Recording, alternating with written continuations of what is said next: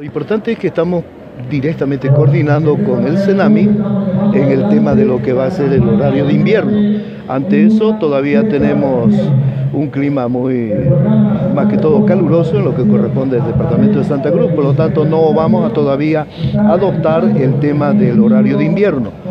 Tenemos mm, más que todo reportes de que a partir del mes de junio sí vienen intensos fríos, entonces estamos determinando que los primeros días del mes de junio ya tendríamos que adoptar el horario de invierno debido a que en, eso, en ese mes vienen surazos que van a directamente desfavorecer a nuestros estudiantes.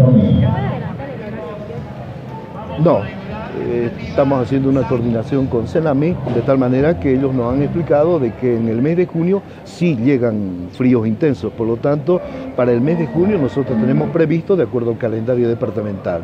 En cuanto al descanso pedagógico, nosotros tenemos a partir del 3 al 14 de julio, que en esa fecha son determinantes los fríos que vienen al departamento de Santa Cruz.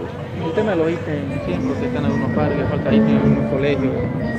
Bueno, en el tema de ítems de nueva creación, nosotros hemos distribuido alrededor de 392 ítems, por lo tanto, hemos hecho la prioridad para aquellos padres y familias que estaban pagando en cada unidad educativa a docentes.